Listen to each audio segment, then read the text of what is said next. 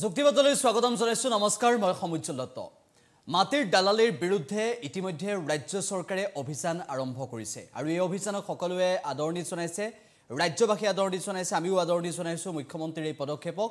মুখ্যমন্ত্ৰীয়ে এটা গুৰুত্বপূৰ্ণ পদক্ষেপ গ্ৰহণ কৰিছে আৰু এই পদক্ষেপৰ পৰৱৰ্তী সময়ত দেখিবলৈ পোৱা গৈছে এতিয়ালৈকে প্ৰায় পাঁচ শতাধিক মাটিৰ দালালক আটক কৰিছে। ৰাজ্যজুৰি এই অভিযান ক্ৰমাগতভাৱে তীব্ৰতৰ হৈছে। মুখ্যমন্ত্ৰী ডক্টৰ হিমন্ত বিশ্ব শৰ্মাই যি তৎপৰতা অৱলম্বন কৰিছে আৰু সেই তৎপৰতাৰ পৰৱৰ্তী সময়ত আৰু অধিক মাটিৰ দালাল জালত পৰিব উপায়ুক্তৰ কাৰ্যালয় দ্বিতীয়ৰ কাৰ্যালয় যিসকলে দালালগিৰি চলাই আছে এতিয়ালৈকে দালাল ৰাজ চলাই আছে সেইসকলৰ বিৰুদ্ধেও কঠোৰৰ পৰা কঠোৰতম ব্যৱস্থা গ্ৰহণ কৰিব মুখ্যমন্ত্ৰী ডক্টৰ হিমন্ত বিশ্ব শৰ্মাই ইতিমধ্যে স্পষ্ট মন্তব্য কৰিছে। আৰু ৰাজ্য চৰকাৰখনে যিটো পদক্ষেপ গ্ৰহণ কৰিছে সেই পদক্ষেপৰ পিছত ৰাজ্যৰ বিভিন্ন প্ৰান্তত ইতিমধ্যে মুখ্যমন্ত্ৰী ডক্টৰ হিমন্ত বিশ্ব শৰ্মাই যি পদক্ষেপ গ্ৰহণ কৰিছে সেই পদক্ষেপক সকলোৱে আদৰণি জনাইছে। ৰাজনৈতিক দলসমূহে কি মন্তব্য কৰে বা আজি যি পদক্ষেপ গ্ৰহণ কৰিছে সেই পদক্ষেপ অনাগত সময়ত ধৰি ৰাখিব পাৰিবনে নোৱাৰে সেই সন্দৰ্ভতো ৰাজনৈতিক দলৰ নেতৃত্বই প্ৰশ্ন উত্থাপন কৰিছে। ষ্টুডিঅ'ত আজি আমি আমন্ত্ৰণ জনাই আনিছোঁ কংগ্ৰেছৰ মুখপাত্ৰ ৰূপক দাস। আমাৰ সৈতে আছে কংগ্ৰেছৰ মুখপাত্ৰ ৰূপক দাস। আদৰণি জনাইছোঁ অনুষ্ঠানৰ মাজলৈ। আমাৰ সৈতে আছে ৰাইজৰ দলৰ নেতা হৰেশ্বৰ বৰ্মন। আদৰণি জনাইছোঁ অনুষ্ঠানৰ মাজলৈ। আমাৰ সৈতে আছে লেখক তথা বিশ্লেষক ময়ূৰ বৰা ছাৰ। ছাৰ আপোনাকো আদৰণি জনাইছোঁ অনুষ্ঠানৰ মাজলৈ। আৰু কিছু সময়ৰ পাছতে আমাৰ সৈতে ষ্টুডিঅ'ত আহি উপস্থিত হ'ব লেখক তথা সমীক্ষক প্ৰদ্যুন্ন গোস্বামী।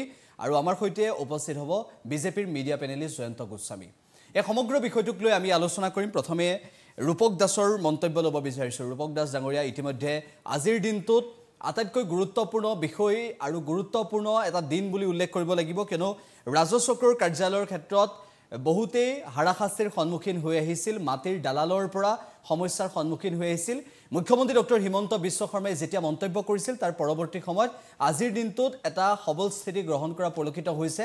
নিশাৰে পৰা যি অভিযান চলাইছে এতিয়ালৈকে পাঁচ শতাধিক দালালক আটক কৰিছে মুখ্যমন্ত্ৰীগৰাকীয়ে। কংগ্ৰেছৰ দৃষ্টিত কি ক'ব? কংগ্ৰেছৰ কংগ্ৰেছে কি ভাবে? মুখ্যমন্ত্ৰীৰ এই পদক্ষেপৰ ক্ষেত্ৰত। এতিয়া হয় আজি আমি দেখিছোঁ সংবাদ মাধ্যমৰ যোগেৰে প্ৰায় দিনটো সেনেকুৱা ধৰণৰ বাতৰিয়ে চলি আছে আৰু প্ৰায় আপুনি কোৱাৰ দৰে চাৰে চাৰিশ পাঁচশ মানৰ ভিতৰত আজি দালাল বুলি যিসকলক গ্ৰেপ্তাৰ কৰিছে। এতিয়া এইটো এটা আমি দীৰ্ঘদিনীয়া সমস্যা এইবিলাক আৰু অকল মাটি বাৰীৰ ক্ষেত্ৰতেই নহয় অসমত বা ভাৰতবৰ্ষৰ বিভিন্ন জেগাত সকলো বিভাগতেই এই ধৰণৰ এটা ব্যৱস্থা হৈ উঠিছে। আৰু ইয়াক ৰোধ কৰাৰ কাৰণে চৰকাৰখনে যিটো পদক্ষেপ লৈছে সেইটো এতিয়াই তাত বৰ এটা ডাঙৰ মতামত দিয়াটো সমীচীন নহ'ব বুলি মই ভাবোঁ। কাৰণ যিসমূহক ধৰিছে এতিয়া আমি চৰকাৰখনৰ মানে দুমুখীয়া চৰিত্ৰ এটা দেখিবলৈ পাইছোঁ। আপোনালোকে জানে যে সৌ সিদিনা ভৱানীপুৰ সমষ্টিৰ প্ৰাক্তন বিধায়ক এ আই ডি এফৰ ফণী তালুকদাৰ ডাঙৰীয়া। তেখেতে বিজেপি গমন কৰিলে। আৰু তেওঁৰ ইতিহাস যদি আমি চাওঁ বা তেওঁলোকৰ আৰু এজন নেতা আছে অসম বিজেপিত তেওঁ হৈছে নাৰায়ণ ডেকা। এই নামসমূহৰ লগত জড়িত কথাসমূহ গুৱাহাটীবাসী ৰাইজে ভালদৰে জানে। তেওঁলোকে কি ধৰণে চলিছে তেওঁলোকে কি কৰ্মৰ লগত জড়িত। আৰু ফণী তালুকদাৰ ডাঙৰীয়াৰ বি এ বি আইত এটা অপৰাধ আছিলে গোচৰ হৈছিলে তাত তেওঁ গ্ৰেপ্তাৰো হৈছিলে। আজি সেই গোচৰত যোন আই অ' আছিলে ইনভেষ্টিগেটিং অফিচাৰ তেওঁ আজি বিজেপি গমন কৰিছে। সেই সময়ত যিজন অধিবক্তাই তেওঁৰ হৈ কেছ কৰিছিলে তেওঁ আজি বিজেপিৰ মানুহ। ঠিক তেনেকৈ আজি শেষত যিজন আছামী আছিলে তেওঁ আজি বিজেপি গমন কৰিছে। এই যে ধৰণৰ কথাখিনি এইখিনিয়ে কি সূচায় সেইকাৰণে এতিয়াই মানে এই সময়ত এটা মন্তব্য দিয়াটো অলপ অসুবিধা হ'ব। আৰু সকলোতে দেখিছোঁ তেওঁলোকে সৰু সৰু মানুহবিলাককে ধৰিছে কিন্তু ডাঙৰ ৰৌ বৰালিবিলাক কিন্তু হাৰি গৈ আছে। কথাখিনি আমি আগবঢ়াই দিম। এ, ময়ূৰ বৰা ছাৰ যিহেতু আছে আমাৰ সৈতে। ছাৰ ইতিমধ্যে আজিৰ দিনটোত এটা গুৰুত্বপূৰ্ণ পদক্ষেপ গ্ৰহণ কৰিছে আৰু মুখ্যমন্ত্ৰীৰ যি তৎপৰতা সেই তৎপৰতালৈ চাই ৰাজ্যবাসীয়ে আদৰণি জনাইছে এই পদক্ষেপক। ইতিমধ্যে প্ৰায় পাঁচ শতাধিক চাৰিশ পঞ্চাছৰো অধিক দালালক এতিয়ালৈকে আটক কৰিছে। আৰু মুখ্যমন্ত্ৰীয়ে যি পদক্ষেপ গ্ৰহণ কৰিছে কি ক'ব বিচাৰিব? এই যিটো পদক্ষেপ এইটো পদক্ষেপক আচলতে কোনো মানুহে অনাদৰ নকৰে। সকলোৱে এইটো কথাক আদৰণি জনাব যোগাত্মক পদক্ষেপ বুলি ক'ব। আৰু এই কথাটোৱে প্ৰমাণ কৰে আচলতে প্ৰতিখন চৰকাৰ অকল বিজেপি চৰকাৰ বুলিয়ে নহয় ইয়াৰ আগৰ কংগ্ৰেছ চৰকাৰো বিশেষকৈ অসম আন্দোলনৰ পিছৰ পৰা যিটো আপুনি ৰাজনৈতিক পৰিক্ৰমা যদি চায় যি ধৰণৰ তাত নৈতিকতাৰ স্খলন ঘটিছিল প্ৰমূল্যবোধৰ স্খলন ঘটিছিল তেতিয়াৰ পৰাই ৰাজনৈতিক স্খলনৰ লগতে আমাৰ এই দালালি বেপাৰৰ স্খলনটো সাংঘাতিক এটা বেলেগ ধৰণেৰে হৈছিল। মই এইবাবে কৈছোঁ আগৰ সময়ত ত্ৰিছ বছৰৰ আগতে যেতিয়া সমুজ্জ্বল আপুনি হয়তো গুৱাহাটীলৈ অহা নাই বা আপোনাৰ জন্মই হোৱা নাই মই দেখিছোঁ গুৱাহাটীত।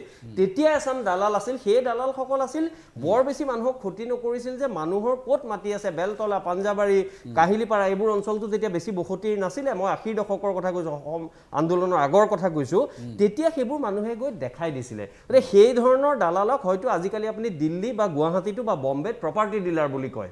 কিন্তু যোৱা ত্ৰিছ চল্লিছ বছৰমানত এটা নতুন ধৰণৰ দালালৰ আৱিৰ্ভাৱ হ'ল যিটো দালালৰ আৱিৰ্ভাৱৰ লগত আচলতে বৃহৎ ৰাজনৈতিক শক্তিৰ সদায় তেওঁলোক এটা জড়িত হৈ আছে। আৰু সেইবাবে বিভিন্ন দলে এই দালালসকলে কি কৰে তেওঁলোকে দুখীয়াৰ পেটত গোৰ মাৰে তেওঁলোকে ৰাজ্য চৰকাৰে পাব লগা যিখিনি আয় বা ৰেভিনিউ সেইখিনি কথা তেওঁ ৰাজ্য চৰকাৰক বঞ্চিত কৰে কৰি পেলাই এচাম আমোলা এচাম অসাধু আৰু দুৰ্নীতিগ্ৰস্ত আমোলা এচাম মন্ত্ৰী এচাম বিধায়ক আৰু এচাম তেনেকুৱা ব্যৱসায় কৰা মানুহৰ লগত লগ লাগি বৃহৎ এটা ৰেকেট তৈয়াৰ কৰে। আৰু সেই ৰেকেটটোৱে আচলতে সমগ্ৰ অসমত যোৱা কেইবছৰমানৰ ভিতৰত আমি যে বহু কথা কওঁ ৰাইজৰ দলৰ প্ৰতিনিধিয়েও হয়তো সেই কথাটো ক'ব যে অসমীয়া খিলঞ্জীয়া মানুহৰ মাটি আমাৰ হাতৰ পৰা নাইকিয়া হোৱাৰ বাবে আমাৰ যেনেকৈ দুখ আছে খিলঞ্জীয়া মানুহৰ এই বৃহৎ চক্ৰটোৱেও কিন্তু কেঁকুৰা চেপাৰ দৰে চেপি ধৰিছে। তেনে প্ৰেক্ষাপটত যেতিয়া মুখ্যমন্ত্ৰী ডক্টৰ শৰ্মাই এইটো কথা লৈছে মই তেখেতৰ এই কথাটোক আদৰণি জনাইছোঁ।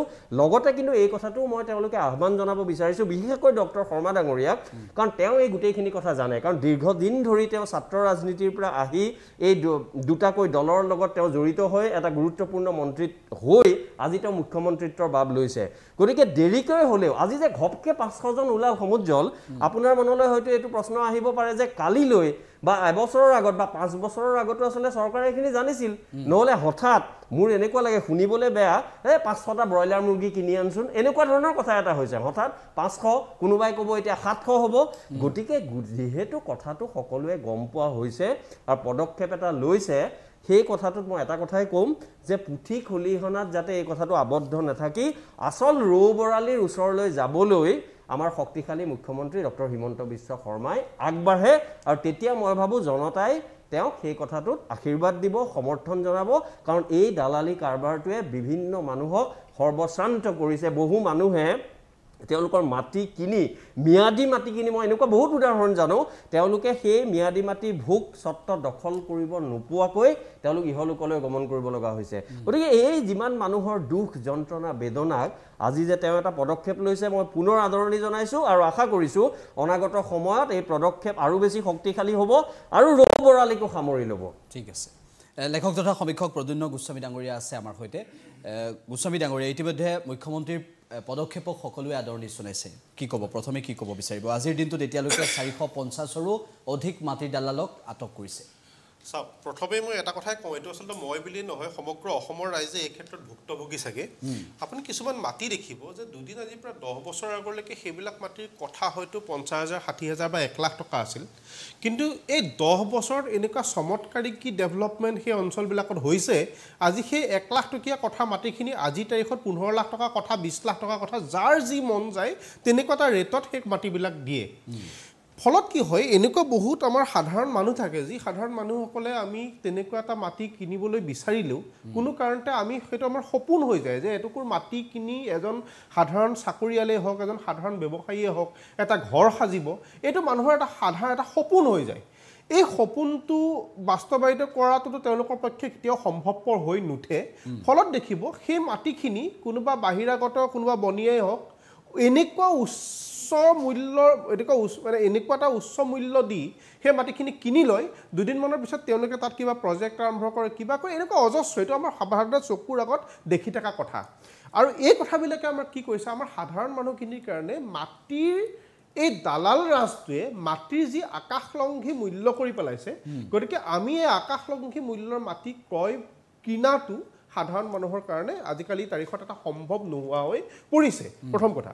দ্বিতীয় কথাটো হ'ল এই দালাল ৰাজটো যে মাটিখিনিৰ মাজত সোমাই গৈছে। সোমাই যোৱাৰ ফলত আপোনাৰ মাজতে এনেকুৱা ঘটনা মই শুনিছোঁ। আচল মাটিৰ মালিক থাকে বেলেগ কিনোতা থাকে বেলেগ মাজত দালালে সেই একেখিনি মাটিকে পাঁচ বেচামান দিয়ে। তাৰমানে মাটি অৰিজিন নামজাৰি আছিল বেলেগৰ নামত ফাইনেলি যেতিয়া আপুনি চাই বেলেগৰ নামত নামজাৰি হৈছে আৰু মাজত তিনি চাৰিবাৰমান বেলেগৰ নামত নামজাৰি হৈ পেলাই মাটি চলি আছে। এই ক্ষেত্ৰটোত এই দালাল ৰাজৰ এই গোটেই চক্ৰটোক সুবিধা দিছে। আমাৰ যিসকল মানুহে মাটি বিক্ৰী কৰে তেওঁলোকৰো অৰিহণা আছে। দুই নম্বৰ অৰিহণা আছে চাৰ্কুল অফিচৰ লগত ৰিলেটেড মানুহখিনি ডি চি অফিচৰ লগত ৰিলেটেড মানুহখিনি। আজি মই নিজে মোৰ এটা ব্যক্তিগত মানে আপোনাৰ কথা কওঁ। আজি কিছুদিনৰ আগতে মই এটা মানে ফ্লেট কিনিছিলোঁ সৰুকৈ। আপোনাৰ এই সেই সেই ফ্লেটটো আছিল মানে ছেকেণ্ড হেণ্ড মই মানে এজন ব্যক্তিৰ পৰা সেই কিনিবলগীয়া হৈছিল। তেওঁ এটা চেল পাৰ্মিশ্যন উলিয়াবলগীয়া হৈছিল। সেই চেল পাৰ্মিশ্যনটো উলিয়াবলৈ আপুনি বিশ্বাস কৰিবনে কিমান দিন সময় লাগিছিল? আঢ়ৈ বছৰ। আঢ়ৈ বছৰৰ পিছত তেওঁ মণ্ডলক গৈ গৈ লগ নাপাই ঘূৰি আহে। তাৰপিছত গৈ চাৰ্কুল অফিচত গৈ ঘূৰি ফুৰে। লাষ্টত আঢ়ৈ বছৰৰ পিছত তেখেতে যেতিয়া চেল পাৰ্মিশ্যনটো মোক উলিয়াই দিব নোৱাৰিলে তেখেতে মোক হাত দাঙি দিলে বোলে প্ৰদ্যুম্ন মই নোৱাৰিছোঁ। কি কৰিব পৰা যায়? মই বোলো খুৰা মই যাম ৰ'ব চাৰ্কুল অফিচ। মই নিজে চাৰ্কুল অফিচ পোন্ধৰৰ পৰা বিছ বাৰ গৈছোঁ। বিছ বাৰ গৈ বিভিন্ন মানুহক লগ পাই ঘটনাটো কি হৈছে এজন মণ্ডলক লগ পোৱাটো মাজতে কোনোবা ডেপুটি কমিশ্যনাৰ এজনে এখন মিটিঙত ভাষণ দিছিল। ডি চিজনে কৈছিল যে মই ভগৱানক এটা কথা খাটিম অহা জনমত মোক ডেপুটি কমিশ্যনাৰ কৰি দিব নালাগে মোক যাতে এজন মণ্ডল কৰি দিয়ে। কাৰণ মণ্ডল এজনৰ যিটো পাব্লিক ডিমাণ্ড থাকে তেওঁলোকে যিটো লেভেলত মাটিৰ লেনদেনৰ কামবিলাক আৰম্ভ কৰে আৰু এই ঘটনাটো কিয় হ'বলৈ পাইছে? আজি মণ্ডল এজনক বিচাৰিবলৈ এজন পাব্লিকে যিটো তেখেতে ভৰিয়ে হাতে ধৰি আপোনাৰ পইচা নহ'লে অপ্ৰিয় সত্য কোনো মই এজন ব্যক্তিগত মণ্ডলৰ কথা ক'ব নোৱাৰোঁ পইচা নহ'লে কথাই নকয় আপোনাক ফোন নম্বৰ দিব আপুনি মোক ফোন কৰিব। আপুনি যিদিনাখন কামটোৰ কাৰণে আপুনি এটা ডেট দিব এমাহৰ পিছতে ডেটটোত খবৰ কৰিব। সেই ডেটটোত খবৰ কৰি আপুনি ফোন কৰি থাকিব মণ্ডলজনক সেই ডেটটোত আপুনি নাপায়। তেওঁক আকৌ চাৰি পাঁচ দিনৰ পিছত আপুনি ল'বলৈ যাওক। ল'বলৈ গৈ হাতত টকা পাঁচ হাজাৰ গুজি দিয়ক এই গোটেই ব্যৱস্থাটো কলুষিত কৰিছে মানুহখিনিয়েও কলুষিত কৰিছে আৰু সেই ব্যক্তিজনে যিজন ব্যক্তিয়ে মোক চেল পাৰ্মিশ্যনটো উলিয়াই দিলে তেওঁ এক টকাও খৰচ নকৰাৰ কাৰণে বা মই ব্যক্তিগতভাৱে এক টকাও মণ্ডলক নিদিয়াৰ কাৰণে মোৰ কামটো প্ৰায় তিনি বছৰ গোটেই কামটো চেল পাৰ্মিশ্যন এপ্লাই কৰাৰ পৰা চেল পাৰ্মিশ্যন হোৱালৈকে প্ৰায় তিনি বছৰ চাৰে তিনি বছৰ এটা প্ৰক্ৰিয়া লাগিল। এটা সাধাৰণ এটুকুৰ মাটিৰ এটা চেল পাৰ্মিশ্যন উলিয়াবৰ কাৰণে যদি মোক তিনি বছৰ চাৰে তিনি বছৰ লাগে আমি আমিবিলাক যিবিলাক মানুহে আমি গুৱাহাটী চহৰখনত ঘূৰি আছোঁ আমি অফিচিয়েল ছিষ্টেমটো জানো এই আমাৰ মানুহখিনি। তেন্তে সাধাৰণ খাটি খোৱা মানুহখিনিৰ অৱস্থাটো কি হ'ব? আৰু ইয়াৰ বাদেও আৰু ঘটনা মই আপোনাক যিটো কথা কৈছোঁ এনেকুৱা কিছুমান জেগা আছে যিবিলাক জেগাত মাটিৰ যিটো আকাশলংঘী মূল্য হ'বলৈ লৈছে। আজি অলপ দিনৰ আগতে মোৰে বন্ধু এজনে এটা প্লট কিনিছিলে উত্তৰ গুৱাহাটীৰ ফালে। অৰিজিন মাটিৰ পৰা মাটিৰ মালিকৰ পৰা পাৱাৰ অফ এটৰ্নি লয়। এই পাৱাৰ অফ এটৰ্নি ব্যৱস্থাটো কিন্তু মুখ্যমন্ত্ৰী ডাঙৰীয়ে কিবা এটা কৰিব লাগে। পাৱাৰ অফ এটৰ্নি লৈ তেওঁলোকে অৰিজিন মাটিৰ মালিকৰ পৰা যদি দুই লাখ টকাকৈ কথা কিনিছে পিছত সেই মাটি তেওঁলোকে বিছ পঁচিছ লাখ পৰ্যন্ত কথাত বেচে। অৰিজিন মাটিৰ মালিকে কিন্তু দুই লাখ টকাহে পায়।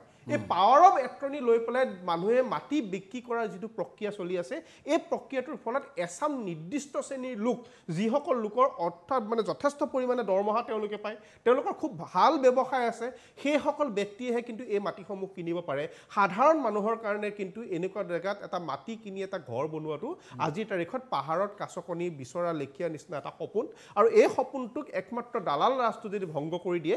মই আশাবাদী মাটিৰ দামটো অন্ততঃ নিম্নগামী হ'ব আৰু মাটিৰ দামটো যেতিয়াই নিম্নগামী হ'ব আমাৰ দৰে এজন সাধাৰণ ব্যক্তিয়ে যি আমাৰ সাধাৰণ জনসাধাৰণে অন্ততঃ এটুকুৰ মাটি কিনাৰ পৰিকল্পনা বা এটা সপোন তেওঁলোকে কৰিব পাৰিব। হয় মুখ্যমন্ত্ৰীয়ে যিটো পদক্ষেপ গ্ৰহণ কৰিছে ইতিমধ্যে মুখ্যমন্ত্ৰীগৰাকীয়ে কৈছে যে সাতশ দালালৰ তালিকা আছে আৰু এতিয়ালৈকে যিহেতু চাৰিশ পঞ্চাছৰো অধিক দালালক আটক কৰিবলৈ সক্ষম হৈছে অভিযান তীব্ৰতৰ হৈছে আৰু সংখ্যাগত দিশৰ পৰা প্ৰতিটো মুহূৰ্তত প্ৰতিখন জিলাত দালালৰ সংখ্যা আটক কৰাৰ সংখ্যা ক্ৰমাগতভাৱে বৃদ্ধি পাই আছে। গতিকে মুখ্যমন্ত্ৰীয়ে যিটো পদক্ষেপ গ্ৰহণ কৰিছে নিঃসন্দেহে আদৰণীয়।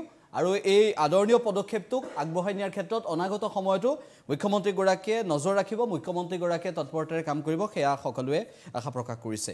ৰাইজৰ দলৰ নেতা হৰেশ্বৰ বৰ্মন ডাঙৰীয়া আছে। হৰেশ্বৰ বৰ্মন ডাঙৰীয়া মুখ্যমন্ত্ৰীয়ে যিটো পদক্ষেপ গ্ৰহণ কৰিছে সকলোৱে আদৰণি জনাইছে। ৰাইজৰ দলৰ তৰফৰ পৰা কি ক'ব? যিহেতু ৰাইজৰ দল কৃষক মুক্তি সংগ্ৰাম সমিতিৰ এটা অংশ আছিল আৰু সেই কৃষক মুক্তি সংগ্ৰাম সমিতিও ইতিমধ্যে ভূমিপত্ৰা আন্দোলনৰ জৰিয়তে অসমত ৰাজনৈতিক বাতাবৰণটো আৰম্ভ কৰিছে তেওঁলোকৰ ৰাজনৈতিক দলৰ গঠন কৰাৰ প্ৰাকমুহূৰ্তত তেওঁলোকে ভূমিপত্ৰ আন্দোলন কৰিছিল। গতিকে ৰাইজৰ দলে এই ক্ষেত্ৰত কি ক'ব বিচাৰিব? মাটিৰ দালালৰ ক্ষেত্ৰত যিটো ব্যৱস্থা হৈ আছিল মুখ্যমন্ত্ৰীগৰাকীয়ে যিটো তৎপৰতা লৈছে কি ক'ব? ধন্যবাদ।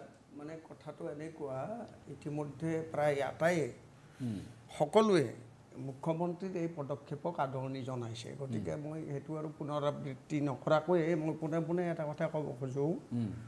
ইতিমধ্যে আমাৰ দলৰ সভাপতি অখিল গগৈয়ে পৰিষ্কাৰ ভাষাত কৈছে যে এতিয়াও চৰকাৰী ক্ষমতাত অধিষ্ঠিত মন্ত্ৰী নেতা পালি নেতাৰ অতি ঘনিষ্ঠ বৃহৎ বৃহৎ যিবোৰ ভূ মাফিয়া বা দালাল তেওঁলোক এতিয়াও কিন্তু এই পাঁচ বা সাতৰ তালিকাৰ অন্তৰ্ভুক্ত হোৱা নাই। এইটো হৈছে প্ৰথম কথা। সেইটো আমি বুজিব লাগিব। আৰু দ্বিতীয় কথা এইটো খুব পৰিষ্কাৰ যে আজি এই কথা সকলোৱে কৈ আছে যে ফণী তালুকদাৰ সদ্য মানে গেৰুৱা বসন পৰিহিত এই নেতাজন অসমত আজি প্ৰায় বিছ বছৰ আগৰ পৰাই এটা কথাৰ কাৰণেই তেওঁ প্ৰখ্যাত। সেইটো হৈছে মাটিৰ দালাল। আৰু অকল মাটিৰ দালাল নহয় মই আপোনাক মানে তালিকা দিব পাৰোঁ আজি আমাৰ গুৱাহাটী সংলগ্ন যি অঞ্চল আমাৰ উত্তৰ কামৰূপ কওক দক্ষিণ কামৰূপ কওক আমিনগাঁৱৰ পৰা নলবাৰীলৈ জালুকবাৰীৰ পৰা ছয়গাঁৱলৈ এই অঞ্চলত যিবোৰ কৃষিভূমি অনাথ কৃষি খণ্ডলৈ হস্তান্তৰ হৈ আছে এই গোটেই প্ৰক্ৰিয়াটোক ফাইনেন্স কৰা মানুহজন অন্য এগৰাকী হ'ল এই ফণী তালুকদাৰ। আৰু বহুত মানুহ আছে হা বহুত আগৰৱাল আছে জৈন আছে জালান আছে ফাঁচী বজাৰত বহি আছে। তেওঁলোকে লাখ লাখ টকা পুৱাই গধূলিয়ে কিছুমান মানুহৰ হাতত গুজি দিছে চকল অসমীয়া মানুহৰ হাতত আৰু তেওঁলোকক সেই পইচা দি পঠাই দিছে গাঁৱলৈ পঠাই দিছে ছয়গাঁৱলৈ পঠাই দিছে কুকুৰমাৰলৈ পঠাই দিছে বাইহাটা চাৰিআলি কমলপুৰ ৰঙিয়া নলবাৰী। এই সকলোতে তেওঁলোকে এতিয়া মাটি গোটাই দি আছে বহিৰাগত বনিয়াক। আৰু সেইকাৰণে মোৰ কথাৰ মোৰ মূল কথাটো হ'ল আজি বহুত কথাই পাতিব লাগে কিন্তু আমি চব কথা নিশ্চয় পাতিব নোৱাৰোঁ এটা টকছত কিন্তু মোৰ কথাটো হৈছে যে এই যে দালাল পাঁচজন বা সাতজনৰ যি তালিকা দিছে এই তালিকাটো এটা চাঞ্চল্য সৃষ্টি কৰা অথবা চমক সৃষ্টিৰ এটা মেকানিজিম হিচাপে অৱনমিত যদি হ'ব নালাগে তেনেহ'লে আমি আচল কেৰনটোত যাব পাৰিব লাগিব। প্ৰথম কথাটো মই ভাবোঁ যে দালালনো কোন দালাল ক্ৰেতা আৰু বিক্ৰেতাৰ মাজত মানুহ এই যে ক্ৰেতা আৰু বিক্ৰেতাৰ মাজত কিবা এটা স্পেচ আছে কাৰণেই তাত দালাল দালাল জন্ম হৈছে দালালি তাত সৃষ্টি হৈছে সেই স্পেচটো আমি নাইকিয়া কৰিব পাৰোঁ নে নাই? ওঠৰশ ছিয়াশী চনত যি আছাম লেণ্ড ৰেভিনিউ ৰেগুলেশ্যন সেই ঔপনিৱেশিক যুগতেই অনুমোদিত হৈছিল ভাৰতত।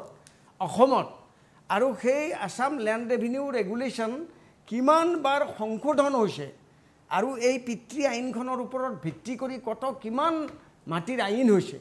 এই আইনবোৰ কাৰ্যকৰী কৰাৰ ক্ষেত্ৰত যিটো মেকানিজিম এক্সিকিউটিভে যি ৰুল বা যি বিধি ব্যৱস্থাৰ যোগেদি ইয়াক কাৰ্যকৰী কৰে এই কাৰ্যকৰীকৰণ প্ৰক্ৰিয়াটো ইমান জটিল। অলপ আগতে মাননীয় গোস্বামী ক'লেই যে কেনেকৈ আচল মাটিৰ মালিকে দুই লাখ টকা নোপোৱাকৈ মাজৰ মানুহে তাত দহ পোন্ধৰ বিছ লাখ টকা উপাৰ্জন কৰি আছে। অৰ্থাৎ এই যে আমাৰ আছাম লেণ্ড ৰেভিনিউ ৰেগুলেশ্যনক ভিত্তি কৰি আমাৰ যিবোৰ লেণ্ড আইন অসমত চলি আছে এই আইনবোৰ যদি সৰলীকৰণ কৰা নহয় এই আইন যদি থলুৱা মানুহক সুৰক্ষিত কৰাৰ পক্ষে যদি নিৰ্দিষ্ট যদি বিধি ব্যৱস্থা তাত যদি সংলগ্ন কৰা নহয় তেনেহ'লে মই আপোনাক কৈ দিব পাৰোঁ এই দালাল তন্ত্ৰ কেতিয়াও শেষ নহয়। আজি লাঞ্জু পাঞ্জু কেইজনমানক ধৰিছে। আমি শুনিছোঁ কোনো কোনো সংবাদ মাধ্যমতো দেখিছোঁ যে মাটিৰ দালাল বুলি কোনো কোনো পাণ দোকানী কোনো কোনো চাহ দোকানীকো হেনো ধৰিছে। অথচ ফণী তালুকদাৰক তেওঁলোকে জাতত তুলিছে। হয়তো মানে যদি কি কয় তেওঁৰ আৰু যদি ভাগ্যত যদি থাকে তেতিয়াহ'লে এই উপনিৰ্বাচনত আকৌ ফণু তালুকদাৰ আহি পেলাই আমাৰ অসম বিধানসভা জিলিকাব গেৰুৱা বসন পিন্ধি। তো এই কথাবোৰতো হৈয়ে আছে কিন্তু তাতোকৈ ডাঙৰ কথাটো হৈছে যিটো ছিষ্টেম অসমৰ এই ভূমি ব্যৱস্থাটো ইয়াৰ মানে ব্যৱস্থাপনাৰ যি ভূমি ব্যৱস্থাপনাৰ যিটো মেকানিজিম এই মেকানিজিমটো ইমান জটিল সেই ঔপনিৱেশিক যুগৰ জটিলতাবিলাকো কিন্তু আজি আঁতৰা নাই।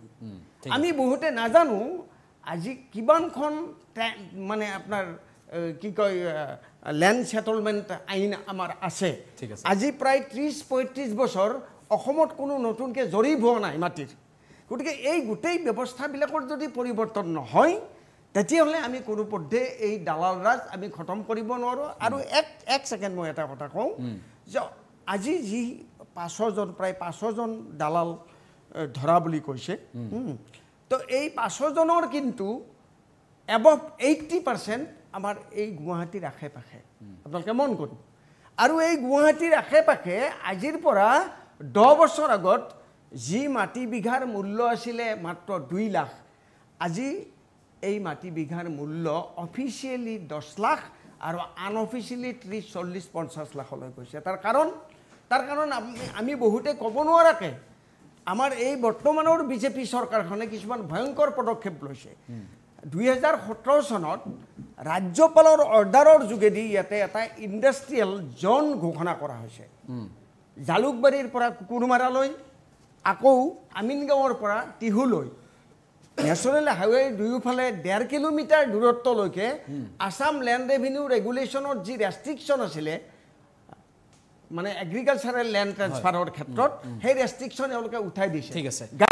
হয়, ঠিক আৰু যাৰ কাৰণে এতিয়া এই গোটেই মাটিখিনি এতিয়া বাহিৰৰ বনিয়াবিলাকৰ হাতলৈ হস্তান্তৰিত হৈছে। এটা বছৰত দুহেজাৰ সোতৰ চনৰ তথ্য মতে উত্তৰ কামৰূপত ডেৰ হাজাৰ বিঘা মাটি কৃষিভূমি অনাকৃষি খণ্ডলৈ আছে। হস্তান্তৰিত হৈছে গতিকে এই সমগ্ৰ 90% এ, সমগ্ৰ আলোচনাটো। আমি আগবঢ়াই নিম সমগ্ৰ আলোচনাটো আমি আগবঢ়াই নিম মাটিৰ দালালিৰ বিৰুদ্ধে মুখ্যমন্ত্ৰীয়ে ইতিমধ্যে অভিযান আৰম্ভ কৰিছে ৰাজ্য চৰকাৰখনে অভিযান আৰম্ভ কৰিছে আৰু এই অভিযানত সকলোৱে আদৰণি জনোৱাটো অত্যন্ত প্ৰয়োজন বিজেপিৰ মিডিয়া পেনেলিষ্ট জয়ন্ত কুমাৰ গোস্বামী ডাঙৰীয়া আমাৰ সৈতে আছে জয়ন্ত কুমাৰ গোস্বামী ডাঙৰীয়া ইতিমধ্যে ৰাইজৰ দলৰ নেতা হৰেশ্বৰ বৰ্মন কংগ্ৰেছৰ ৰূপক দাস ডাঙৰীয়াই বহুখিনি কথা কৈছে আৰু ইয়াৰ সমান্তৰালভাৱে ময়ূৰ বৰা ডাঙৰীয়া আৰু পদুন্য গোস্বামী ডাঙৰীয়াও যিখিনি কথা ক'লে সেই কথাখিনিৰ আলম লৈ মই আপোনাক প্ৰশ্ন কৰিব বিচাৰিছোঁ যে মুখ্যমন্ত্ৰী ডাঙৰীয়াই যি প্ৰচেষ্টা গ্ৰহণ কৰিছে যি পদক্ষেপ লৈছে সেই প্ৰচেষ্টাক সকলোৱে আদৰণি জনাইছে আৰু এই প্ৰচেষ্টাটোৰ তথা ধাৰাবাহিকতাটো ৰক্ষা কৰাৰ ক্ষেত্ৰত কিন্তু বিজেপি চৰকাৰখনে এটা গুৰুত্বপূৰ্ণ ভূমিকা পালন কৰিব লাগিব।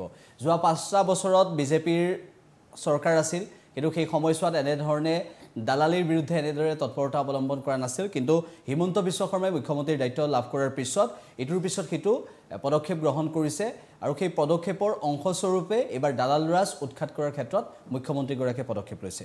কি ক'ব? আজি অসমৰ অসমৰ ইতিহাসতে এটা অত্যন্ত গুৰুত্বপূৰ্ণ দিন হিচাপে চিহ্নিত হ'ব। যিহেতু অসমৰ যি অসমৰ যি এডমিনিষ্ট্ৰেশ্যন ৰিভিউ যি চলি এডমিনিষ্ট্ৰেশ্যন ৰিভিউ যি ৰিফৰ্মছ যিটো চলাবৰ কাৰণে মাননীয় মুখ্যমন্ত্ৰী ডক্টৰ হিমন্ত বিশ্ব শৰ্মা ডাঙৰীয়াৰ নেতৃত্বত যি কথা বতৰাবিলাক চলি আছিলে। আৰু এই কথা বতৰাবিলাকৰ লগতে দালাল ৰাজ যাতে গোটেই কাৰ্যালয়বিলাকৰ পৰা দালাল ৰাজ যাতে শেষ কৰিব পাৰি তাৰ তাৰ ব্যৱস্থা ল'বৰ কাৰণে তেখেতৰ যি তৎপৰতা এই তৎপৰতাত আজি পাঁচশৰো অধিক বিভিন্ন জিলাৰ বিভিন্ন চাৰ্কুল অফিচাৰৰ সমূহৰ লগত চাৰ্কুল অফিচাৰৰ কাৰ্যালয়সমূহৰ লগত সংলগ্ন যিবিলাক মাটিৰ দালাল বা বিভিন্ন ধৰণৰ চৰকাৰী কাৰ্যালয়ৰ দালাল এইসকলক আজি গ্ৰেপ্তাৰ কৰি এটা কথা চৰকাৰৰ স্থিতি সম্পূৰ্ণভাৱে স্পষ্ট কৰিলে যে কোনো ধৰণৰ দুৰ্নীতি কোনো ধৰণৰ দালাল ৰাজ কোনো ধৰণৰ মাফিয়াগিৰিৰ লগত চৰকাৰে কেতিয়াও আপোচ নকৰে। এই কথাটো অত্যন্ত আজি আজি তাক প্ৰমাণ কৰিলে। এটা কথা আমি যদি চাওঁ যেতিয়া সম- সামগ্ৰিকভাৱে যদি চাওঁ তেতিয়াহ'লে দেখা যায় যে আজিৰ যিসকল লোকক গ্ৰেপ্তাৰ কৰা হৈছে এই এই সকল লোক কেৱল পুথি খলি- সদায় নহয় ইয়াত ৰৌ বৰালিও আছে। মই উদাহৰণস্বৰূপে এটা কথা কৈছোঁ যোৰহাটৰ এটা গোচৰৰ সম্পৰ্কত কওঁ। যোৰহাটত প্ৰায় প্ৰায় চল্লিছজন লোকৰ ওপৰত এটা গোচৰ ৰুজু কৰা হৈছে য'ত ছেকশ্যন পুট কৰা হৈছে four twenty four sixty eight four seventy one four zero' six thirty four of Indian penal code. ইয়াতে ইয়াতে তাত এক নম্বৰ এক নম্বৰ ভূ মাফিয়াজনৰ পৰা একেবাৰে কাৰ্যালয়ৰ লগত সংলগ্ন থকা সকলো ধৰণৰ ভূ মাফিয়াৰ নামেই তাত উল্লেখিত হৈ আছে। গতিকে আজি থৰহৰি কম্পমান সেইসকল ভূ মাফি- মাফিয়া সেইসকল লোক। গতিকে এই ধৰণৰ যোৱা সময়ছোৱাত যি জনসাধাৰণক সাধাৰণ জনসাধাৰণক যিসকল লোকে অত্যন্ত অসুবিধাত পেলাইছিলে যিসকল লোকে মাটিৰ কিনা বেচাৰ যি ব্যৱস্থা বা পাৰ্মিশ্যন বা পঞ্জীয়নৰ যি ব্যৱস্থা এই ব্যৱস্থাক মাছৰ বজাৰলৈ যিসকলে ৰূপান্তৰিত কৰিছিলে সেইসকল লোকৰ ওপৰত আজি এটা চাৰ্জিকেল ষ্ট্ৰাইক হ'ল। গতিকে এডমিনিষ্ট্ৰেটিভ ৰিফৰ্মৰ যিটো কথা কোৱা হৈছে যে প্ৰশাসনিক সংস্কাৰৰ কথা মাননীয় মুখ্যমন্ত্ৰী ডাঙৰীয়াই কৈছে সেইটো আজি হাতে কামে প্ৰমাণ কৰি দেখালে একেটা সময়তে আৰু এটা কথা মই কওঁ যে আজি মুখ্যমন্ত্ৰী ডাঙৰীয়াৰ যিটো স্পষ্ট মত মিডিয়াৰ ওচৰত প্ৰকাশ কৰিলে তাত এটা কথা কৈছে যে আপোনালোক সকলোকে কৈছে যে কোনো সাৰি যাব নোৱাৰে। অৰ্থাৎ ৰৌ বৰালি পুঠি খলিহনা মাছ কাছ হাতী ঘোঁৰা সকলো ইয়াৰ ইয়াৰ অধীনলৈ আহিব। এই কথাটো স্পষ্ট। আৰু এটা কথা মই কৈছোঁ যে যোৱা সময়ছোৱাত যোৱা সময়ছোৱাত মাননীয় মুখ্যমন্ত্ৰী মহোদয়ৰ যিবিলাক যিবিলাক কাম কাজত এটা এটাকৈ প্ৰত্যেকটো সংস্কাৰৰ কাৰণে চেষ্টা কৰিছে সামাজিক সংস্কাৰৰ কাৰণে চেষ্টা কৰিছে ইয়াৰ পূৰ্বতে আপুনি দেখা গ'ল যে আৰক্ষী প্ৰশাসনৰ সংস্কাৰৰ ব্যৱস্থা কৰা হৈছে। আৰক্ষী সং- প্ৰশাসনৰ সংস্কাৰৰ লগতে আৰক্ষী যাতে শক্তিশালী হয় আৰক্ষীক যাতে আৰক্ষীৰ যাতে কাম কাজবিলাকত যাতে অত্যন্ত কঠোৰ আৰু কঠোৰতমভাৱে আইনৰ গণ্ডিত থাকে কঠোৰ আৰু কঠোৰতমভাৱে যাতে আৰক্ষীয়ে কাম কাজ কৰে তাৰ কাৰণে মাননীয় মুখ্যমন্ত্ৰী মহোদয়ে এটা ষ্ট্ৰাকচাৰ প্ৰিপেয়াৰ কৰিছে। গতিকে এই ধৰণে যোৱা সময়ছোৱাত যি যি ধৰণে কাম কাজ কৰিছে আৰু বৰ্তমান আজিৰ তাৰিখত যি আজি আজি এটা আজি এটা অসমৰ গোটেই এডমিনিষ্ট্ৰেশ্যনৰ কাৰণে এডমিনিষ্ট্ৰেশ্যনৰ কাৰণে এটা হাহাকাৰ অৱস্থাৰ সৃষ্টি হৈছে। কাৰণ প্ৰত্যেকজন দুৰ্নীতিগ্ৰস্ত লোকে আজি কিন্তু প্ৰত্যেকজন দুৰ্নীতিগ্ৰস্ত লোক- লোকৰে কিন্তু বুকু কঁপি গৈছে। যিটো কথা আজি আমি অলপ আগতে আমাৰ ৰাইজৰ প্ৰতিনিধিগৰাকীয়ে ক'লে যে চৰ- চৰকাৰে এই এই ধৰণৰ কথা বতৰাবিলাক কিমান সফল হ'ব বা তেওঁ যিটো কথা ক'লে যে চৰকাৰ চৰকাৰে এটা ব্যৱস্থা চৰকাৰে ইয়াৰ লগত কম্প্ৰমাইজ কৰিব নেকি বা ভূ মাফিয়া এই ধৰণে বহিৰাগতক বহিৰাগতক ইয়ালৈ আগমন কৰিব নেকি? এই ধৰণৰ কথা বতৰা কথা কৈছে। কিন্তু আপোনালোকৰ কথা বতৰাবিলাক ঠিকেই আছে। কিন্তু বুৰকীয়া পিঠানী সেই সেইসকল ভূ মাফিয়াৰ লগত প্ৰথমতে আন্দোলন পৰৱৰ্তী সময়ত আপোনালোকৰ নীৰৱতাই এটা কথা প্ৰমাণ কৰে যে আপোনালোকেহে আচলতে এই ধৰণৰ আপোচৰ কথা বতৰাবিলাক কৰিছে পূৰ্বতে। তো গতিকে গতিকে গতিকে আমাৰ কথাটো হৈছে এইটোৱে যে ভাৰতীয় জনতা পাৰ্টীৰ এইখন ডক্টৰ সৰ্বানন্দ ডক্টৰ সৰ্বানন্দ সোণোৱাল ডাঙৰীয়াৰ যোৱা পাঁচটা বছৰতো দুৰ্নীতিৰ বিৰুদ্ধে কিন্তু কোনো ধৰণৰ আপোচ কৰা নাছিলে। যাৰ ফলত যে চি এম ভিজিলেন্স চেল নামৰ যে এটা প্ৰতিষ্ঠান আছে এটা যে এটা যে ইনভেষ্টিগেটিং অথৰিটি আছে সেই কথাটো অসমৰ মানুহে প্ৰথমবাৰৰ কাৰণে গম পালে যে চি এম ভিজিলেন্স চেলেও যে বিভিন্ন ধৰণৰ দুৰ্নীতিৰ বিৰুদ্ধে কাম কাজ কৰিব পাৰে। দুৰ্নীতি নিবাৰক শাখা নামৰ এটা যে অৰ্গেনাইজেশ্যন আছে আৰক্ষীৰ এটা অৰ্গেনাইজেশ্যন আছে সেই কথাটো কিন্তু প্ৰথমবাৰৰ কাৰণে অসমত মাননীয় মাননীয় প্ৰাক্তন মুখ্যমন্ত্ৰী সৰ্বানন্দ সোণোৱাল ডাঙৰীয়াৰ নেতৃত্বতে সেই সময়ত সেই সময়ত যোৱা দুৰ্নীতিগ্ৰস্ত বিষয়াসকলক যেনেকুৱা ধৰণে যেনেকুৱা ধৰণে অপাৰেশ্যন কৰি ৰংগে হাত যি ৰেড হেণ্ডেড তেওঁলোকক ধৰাৰ যিটো ব্যৱস্থা কৰিছিল এই যোৱা সময়ছোৱাত দেখা পালোঁ যে প্ৰত্যেকটো মাহতে একো একোজন প্ৰত্যেকটো মাহতে বিভিন্ন সময়ত বিভিন্ন বিভিন্ন কাৰ্যালয়ৰ পৰা দুৰ্নীতিগ্ৰস্ত বিষয়াসকলক গ্ৰেপ্তাৰ কৰাৰ আৰু যি গ্ৰেপ্তাৰ কৰিছিল বা পৰৱৰ্তী সময়ত গ্ৰেপ কেৱল গ্ৰেপ্তাৰেই নহয় কেৱল গ্ৰেপ্তাৰেই নহয় যোৱা সময়ছোৱাত আপুনি যদি চায় যে আটাইতকৈ বেছি কনভিকশ্যন ৰেট বাঢ়িছে প্ৰিভেনশ্যন অফ কাৰাপশ্যন এক্টৰ অধীনত কনভিকশ্যন ৰেট যোৱা যোৱা সময়ছোৱাতে বৃদ্ধি পাইছে। বহু বহু কেইজন চৰকাৰী বিষয়া কনভি কনভিকশ্যন হৈছে তেওঁলোকে জেল জেললৈ যাব লগা হৈছে। কনভিকশ্যন হৈছে অৰ্থাৎ কেৱল কেৱল কথাটো হৈছে কি? কেৱল কথাটো হৈছে কেৱল কথাটো হৈছে কি? কেৱল কথাটো হৈছে এইটোৱে। আপোনাৰ পিনৰ পৰাও একো ইণ্টাৰভেন নকৰিলে আৰু মই নাজানো কিয় কংগ্ৰেছ আৰু আজিকালি বিৰোধী সদায় নীৰৱ হৈ থাকে। গতিকে মই এনেকৈ নীৰৱতাত আহি এনেই কিছুমান কথা শুনিব চাওঁ। গোস্বামীয়ে কেইটামান কথা কৈছে ভাল কথা কৈছে। তেওঁ আমাৰখিনি শুনা নাই আমিও আদৰণি জনাইছিলোঁ। কিন্তু তেওঁ ক'লে যে সৰ্বানন্দ সোণোৱালৰ দিনত এইবোৰ হাস্যকৰ কথা যে প্ৰথম অৱস্থাত সৰ্বানন্দ সোণোৱালে আহি যিটো আমাৰ লোকসেৱা আয়োগৰ এ পি এছ চি ৰিফৰ্মৰ ক্ষেত্ৰত কাম কৰিছিল আমি শলাগ জনালোঁ। আৰে সৰ্বানন্দ সোণোৱালৰ দিনতে এছ আই কেলেংকাৰী নাই হোৱা নেকি? ইমান ডাঙৰ এটা কেলেংকাৰী হ'ল তাৰপিছতো আপুনি ক্লিন চিট দিছে আৰু আজি যে পাঁচশ সাতশ দালাল ধৰিব পাৰে তেতিয়াহ'লে সেই সময়ছোৱাত কিয় ধৰিব পৰা নাছিল? হঠাৎ আহি পেলাই উদ্ভৱ হ'ল নেকি? তাৰমানে আজিৰ ধৰাটো যদি সঁচা হয় তেতিয়াহ'লে সৰ্বানন্দ সোণোৱালৰ দিনত সকলো চাফা আছিল সকলো পৰিষ্কাৰ আছিল। এই কথাটো কেতিয়াও দুইটা কথা সত্য হ'ব নোৱাৰে। দ্বিতীয় কথা দ্বিতীয় কথা গোস্বামী দ্বিতীয় কথা। মই আপোনাৰ কথা আৰু মই নধৰোঁ মই বেলেগ এটা কথা ক'ব বিচাৰিছোঁ টিভি শ্ব'ৰ জৰিয়তে। এটা আচলতে অসম চৰকাৰৰ এটা খুব ভাল এপ আছে। আমাৰ অসমীয়া খিলঞ্জীয়া বহু মানুহে নাজানে আৰু বাহিৰা মানুহেও এই কথাটো জানিব লাগে। ধৰিত্ৰী এপ। যে আপোনাৰ যদি এডোখৰ ম্যাদী পট্টাৰ মাটি আছে এই ধৰিত্ৰী এপৰ জৰিয়তে আপোনাৰ দাগ আৰু পট্টা নম্বৰ যদি এপটোত চাই তেতিয়াহ'লে আপোনাৰ নাম জমাবন্দীৰ কপিটো আপোনাৰ মোবাইল বা লেপটপত আহিব। আমাৰ মানুহ ইমান এলেহুৱা আমাৰ মানুহ ইমান সজাগ নহয় এইবোৰ কাম আমি নকৰোঁ। আৰু নকৰি পেলাই কি হওঁ এটা সময়ত গৈ আমি দালাল বা এনেকুৱা ধৰণৰ মানুহৰ ফন্দিত পৰোঁ। আপুনি চাব যে পৃথিৱীত কেইটামান বস্তু বেশ্যাবৃত্তি prostitution is the oldest profession আপুনি যিমান চেষ্টা কৰক সম্পূৰ্ণ নাইকিয়া কৰিব নোৱাৰে। মদ আপুনি সম্পূৰ্ণ নাইকিয়া কৰিব নোৱাৰে গুজৰাটতো মদ পায় বিহাৰতো মদ পায় আৰু মই দুখেৰে কওঁ মাজুলীতো মদ পায়। যাত আমি কিন্তু অফিচিয়েলি তাত মদ বেচা নহয়। মধ্যভোগীক আপুনি সদায় কোনো চৰকাৰে আমেৰিকাতেই হওক মানে ভাৰততেই হওক অসমতেই হওক নাইকিয়া কৰিব নোৱাৰে। কিন্তু আমাৰ আমাৰ আচলতে নাগৰিক সমাজ চৰকাৰ বিৰোধীৰ আমাৰ আচলতে লক্ষ্য কি হ'ব লাগে? যে তেওঁলোকৰ যিটো দপদপনি আধিপত্য প্ৰভুত্ব সেই কথাটো আমি কমাবলৈ সকলোৱে মিলি চেষ্টা কৰিব লাগে যাতে ন্যায় ল এবাইডিং যিসকল নাগৰিক আছে তেওঁলোকে যাতে অনাহকত কোনো ধৰণৰ কথাৰ সন্মুখীন হ'ব লগা নহয়। মই এটা কিন্তু ব্যক্তিগত অভিজ্ঞতা মোৰ আকৌ এই ক্ষেত্ৰত ডক্টৰ প্ৰদ্যুন্ম গোস্বামীৰ লগতকৈ অলপ ভিন্ন মই নাজানো। ভাল কথাটো ক'ব লাগে নহ'লে মোৰ নিজকে দোষী যেন লাগিব। মুখ্যমন্ত্ৰীয়ে ঘোষণাটো দিয়াৰ আগতেই আজিৰ পৰা ডেৰ মাহ দুমাহমান আগতে মই দুটা বিশেষ কামত গুৱাহাটীৰ এটা চক্ৰ বিষয়া কাৰ্যালয়লৈ যাব লগা হৈছিল। আৰু মোৰ দুইটা কামত এটা মোৰ এটা মোৰ পৰিবাৰৰ মই স্পষ্টকৈ কওঁ সেইকাৰণে মই স্পষ্টকৈ কথাটো কৈছোঁ মাটি সংক্ৰান্তীয়। আৰু দুইটা কামতে এজন চক্ৰ বিষয়া আৰু তেওঁৰ অধীনৰ দুজন মণ্ডল। আৰু তেতিয়ালৈকে মুখ্যমন্ত্ৰীয়ে এই ঘোষণাটো কিন্তু দিয়া নাই। এই যে দালাল ৰাজৰ কথাটো কোৱা নাই তাৰ আগৰ কথা।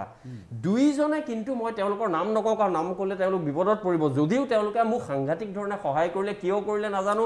হয়তো অলপ চিনাকি মুখ দেখি কৰিলে কোনোবাই হয়তো এনেকৈও ক'ব যি সকলো বস্তু নেতিবাচকভাৱে চায়। তেওঁ ক'ব আপুনি টিভিত ওলোৱা মানুহ লেখক আপুনি হয়তো টিভিত গৈ কৰিব কৰি দিলে। কিন্তু মই তেওঁলোকক কৃতজ্ঞতা জনাইছোঁ দুজন মণ্ডল আৰু এজন চক্ৰ বিষয়াই কামটো কৰিলে।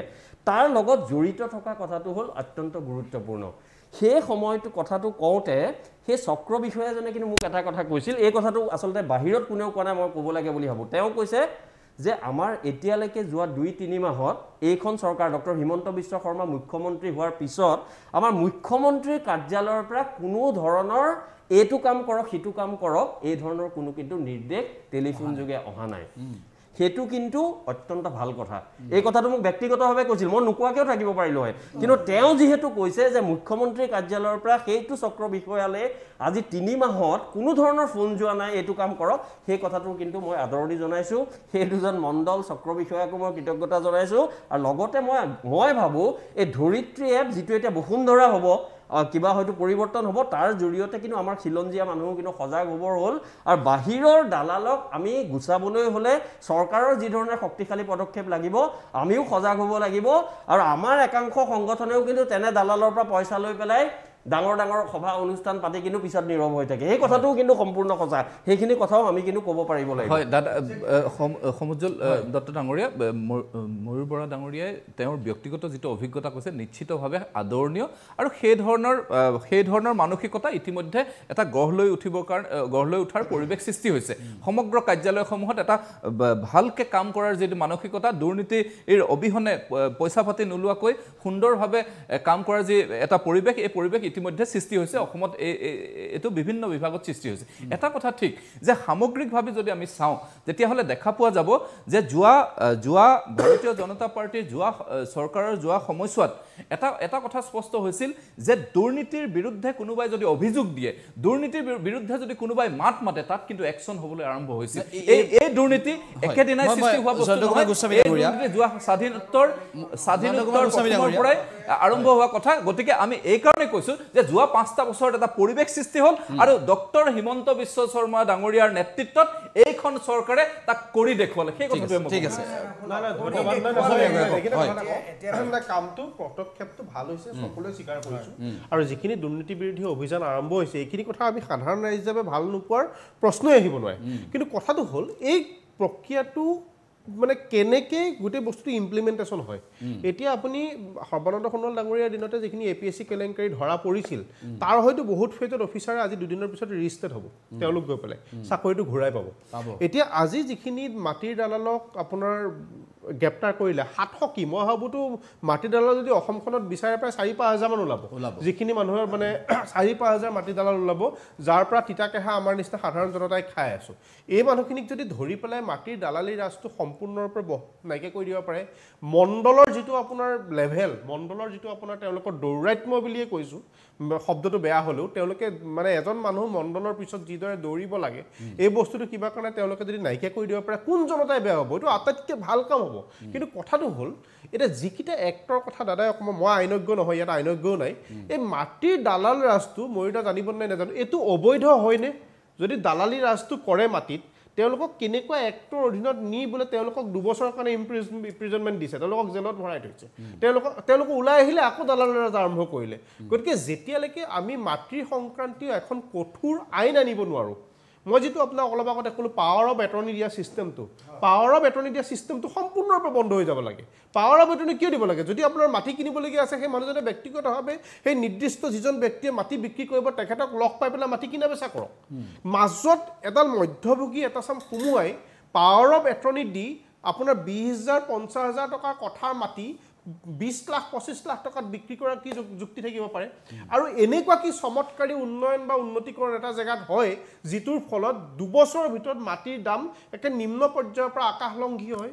গতিকে এই কথাবিলাকৰ যেতিয়ালৈকে আমি মাটিৰ এখন খুব ষ্ট্ৰিক্ট আইন আনিব নোৱাৰোঁ এই দালালখিনি গ্ৰেপ্তাৰ আজি হৈছে। কিন্তু গ্ৰেপ্তাৰ হোৱা মানুহখিনি কিমান দিনলৈকে জেলত সোমাই থাকিব বা তেওঁলোকক আমি এই প্ৰক্ৰিয়াটো বন্ধ কৰি দিব পাৰিম? কাৰণ আপুনি যিকোনো প্ৰকাৰে এজন মানুহক জেলত সোমোৱাই ৰাখোঁ বুলিতো সোমোৱাই ৰাখিব নোৱাৰে আইন আছে আদালত আছে এটা নিৰ্দিষ্ট তেওঁলোকে অপৰাধ কৰিব লাগিব।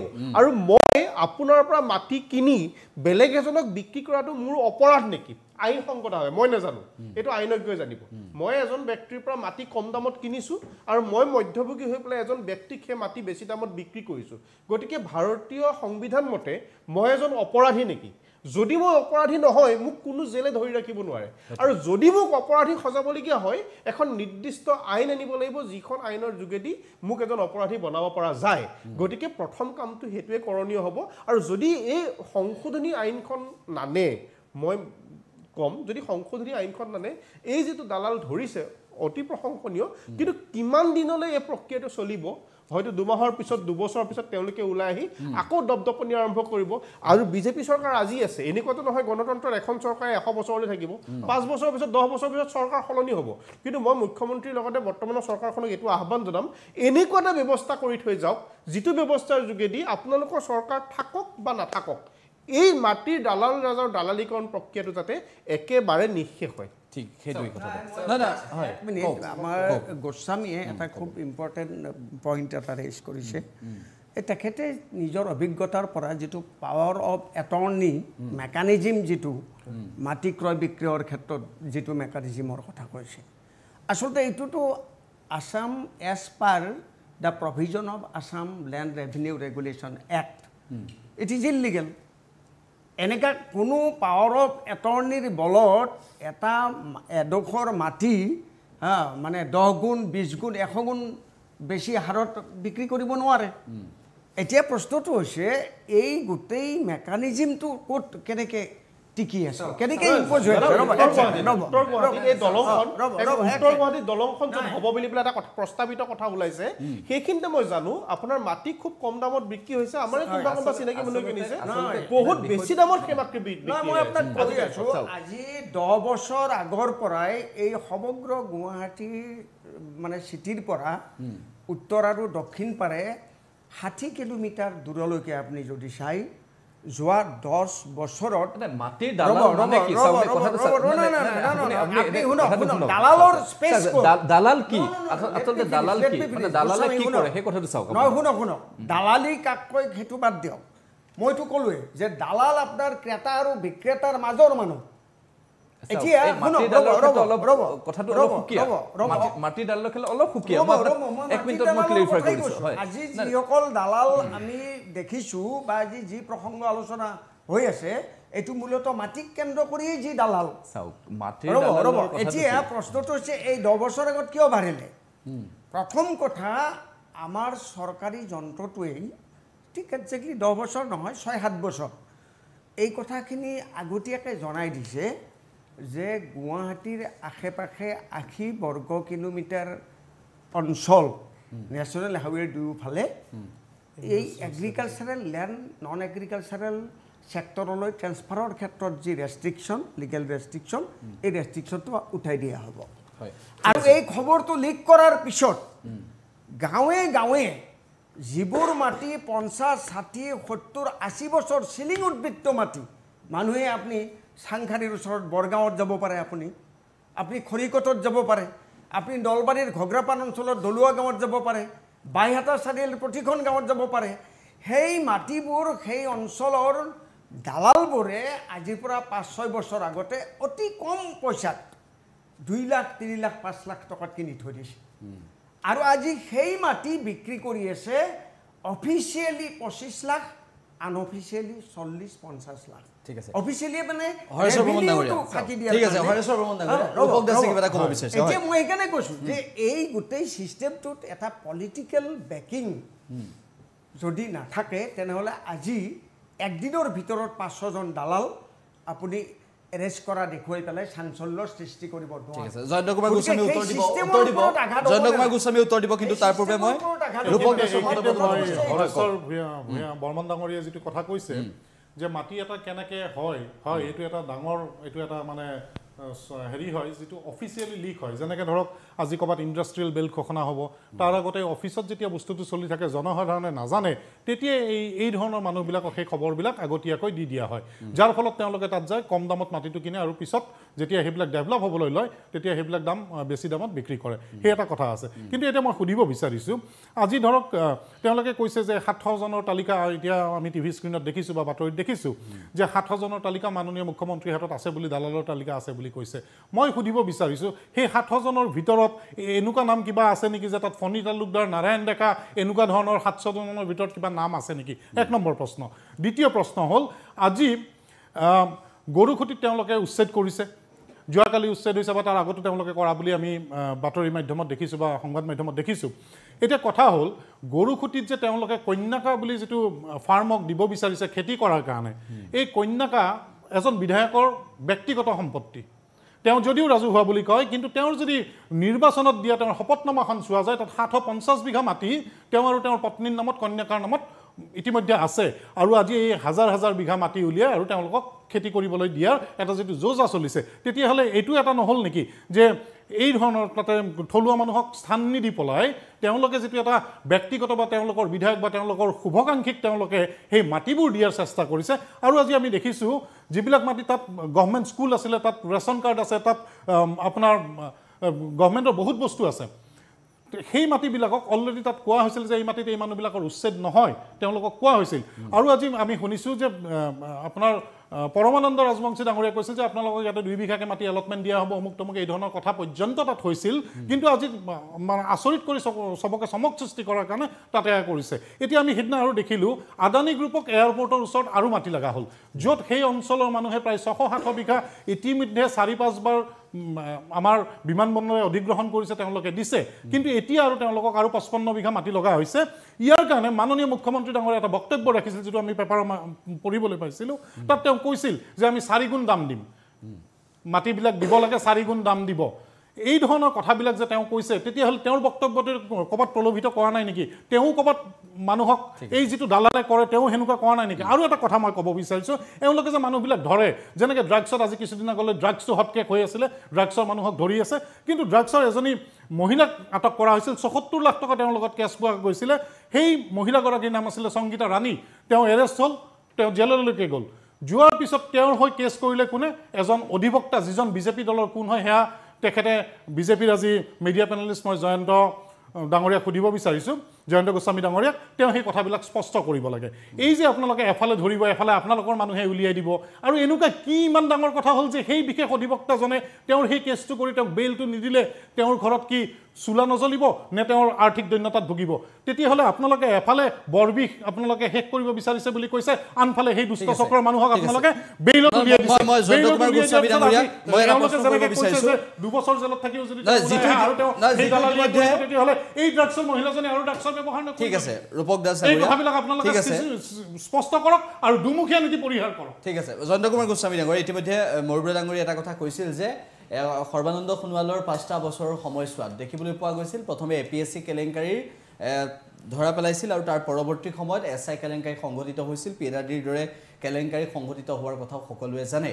ইয়াৰ পৰৱৰ্তী সময়ত মুখ্যমন্ত্ৰী ডক্টৰ হিমন্ত বিশ্ব শৰ্মাই আজি যিটো পদক্ষেপ গ্ৰহণ কৰিছে বা বিগত সময়ছোৱাত ড্ৰাগছৰ বিৰুদ্ধে যেনেদৰে অভিযান চলাইছে বা যেনেদৰে অপৰাধীৰ বিৰুদ্ধে অভিযান চলাইছে সেই তালৈ চালে আমি এটা কথা প্ৰত্যক্ষ কৰিব পাৰোঁ যে এই সমগ্ৰ বিষয়টোৰ ক্ষেত্ৰত এই চৰকাৰখনে এটা গুৰুত্বপূৰ্ণ ভূমিকা পালন কৰিছে। অনাগত সময়ত এই ধাৰাবাহিকতাটো বৰ্তি থাকিবনে নাথাকে বা এই ক্ষেত্ৰত বিজেপি চৰকাৰখনে কেনেদৰে অগ্ৰসৰ হ'ব বুলি আপোনালোকে প্ৰতিশ্ৰুতি দিব পাৰে। বিশেষকৈ গোস্বামী এই দুটা কথা আপুনি কৈ দিব এই দুটা কংগ্ৰেছে খুব ভাল কথা কৈছে দুজনৰ কথা কৈছে নহয় এজন ডেকা আৰু এজন কি তালুকদাৰ। তেওঁলোকৰ লগত আপোনালোকৰ ভূমিকা কি এইটো হয়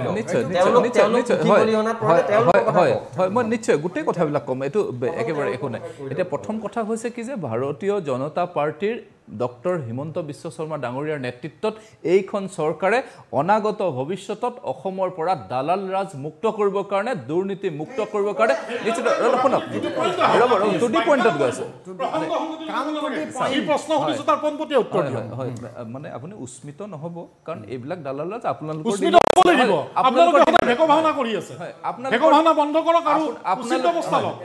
মানে এইবিলাক এই দৰ্শকে বেয়া পাব ইমান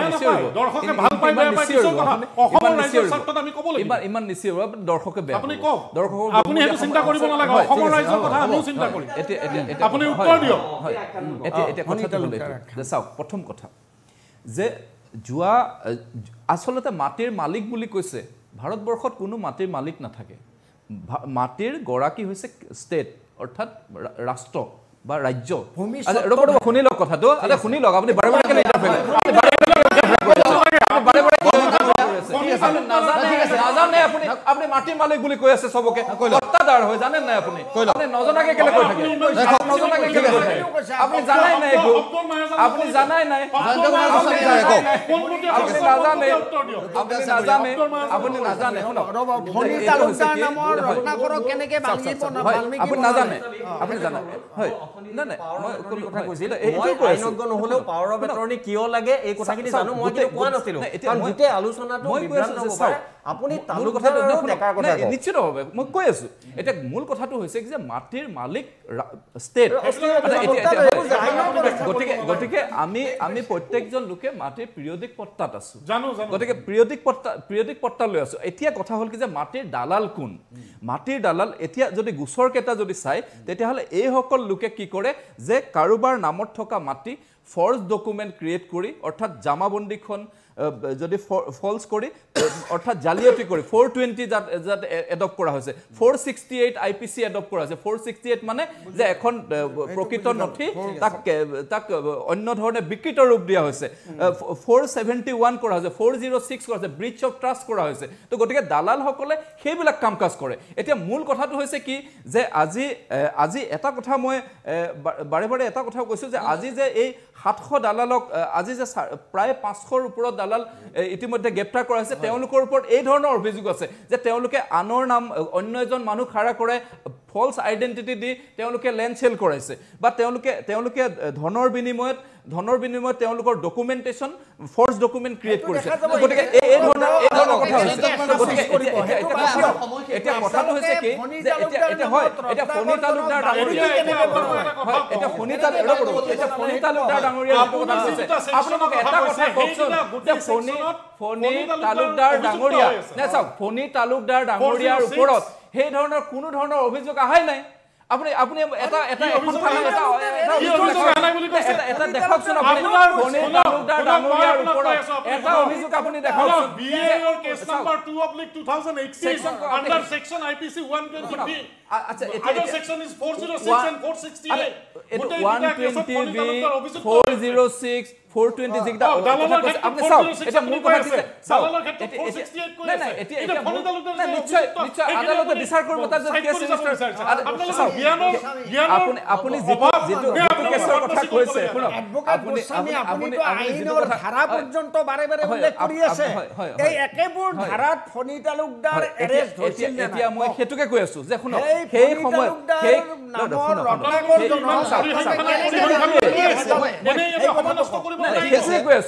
আপুনি আপুনি শুনক।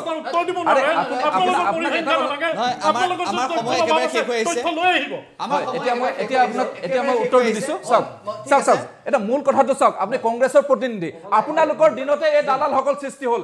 আপোনালোকৰ দিনতে? আপোনালোকৰ দিনত হৈছে ভাৰতীয় জনতা।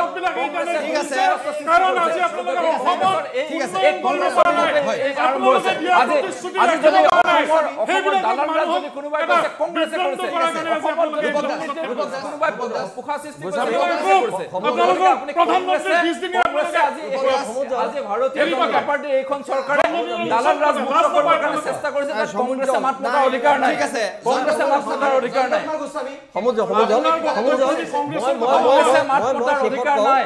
মই বহুত আশাৰে এজন সাধাৰণ সচেতন মানুহ হিচাপে মুখ্যমন্ত্ৰী ডাঙৰীয়াৰ এই পদক্ষেপক মোৰ ব্যক্তিগত উদাহৰণ দিও সমৰ্থন জনাইছিলোঁ কিন্তু আজি যেতিয়া বিজেপি চৰকাৰৰ মানে দলৰ মুখপাত্ৰজনৰ কথা শুনি মোৰ এনেকুৱা এটা ভাৱ হৈছে মোৰ ভুল হ'লে মই ভাল পাম যে তেওঁ এনেকুৱা এটা কৈছে যে বাহিৰত থাকিলে তেওঁ দালাল আৰু বিজেপিত আহিলে তেওঁ ডাঙৰীয়া। ডাঙৰীয়াটো মই বেয়া নাপাওঁ। ডাঙৰীয়া আহোম ৰজাই দিয়া সন্মান। এই ধৰণৰ তাৰমানে কথাত বুজা গ'ল খেনুক দেখি ৰন্ধা বঢ়া খেনুক দেখি দুৱাৰ দাদা হয়, সন্মানীয় বিধায়ক আছিলে। সন্মানীয় বিধায়ক আছিলে। সেই ধনী তালুকদাৰ ডাঙৰীয়া তেতিয়াহ'লে- ভৱানীপুৰৰ দৰে এটা সন্মানীয় সমষ্টিৰ এজন বিধায়ক আছিলে। জনপ্ৰতিনিধি আছিলে। তেওঁ। প্ৰাক্তন বিধায়ক।